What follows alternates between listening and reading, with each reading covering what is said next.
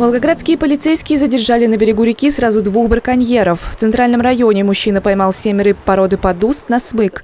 И в Краснооктябрьском районе 37-летний волгоградец осуществлял ловлю с помощью сетей. Сейчас решается вопрос о возбуждении уголовных дел. Браконьерам грозит статья «Незаконная добыча водных биологических ресурсов» и до двух лет лишения свободы. Все предметы лова были изъяты. Отметим, в этом году на территории региона зафиксировали 42 факта браконьерства.